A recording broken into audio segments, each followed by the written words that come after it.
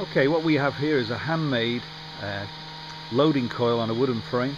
You can see there's about 60 turns separated by nails of uh, PVC coated flex weave uh, antenna wire and I guess there's around about 150 meters on there at least of the wire. The frame itself is about a meter square uh, so roughly 4 meters uh, for one loop so slightly under that actually so probably more like 200 meters of wire which is a lot of wire.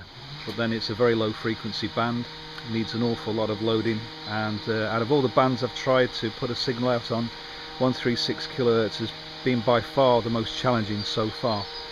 Attached to this is uh, around about 35 meters of wire and uh, a good grounding system. Even so um, on a wooden frame I wouldn't be uh, minded to run more than about 10 watts for fear of fire seriously and uh, I wouldn't leave it unattended under any circumstances.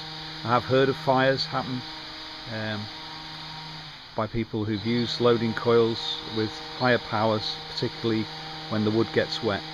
So this will be replaced by a, a plastic forward version eventually. But for now this has worked the best of the coils that I've tried um, it's air spaced and it's big as you can see.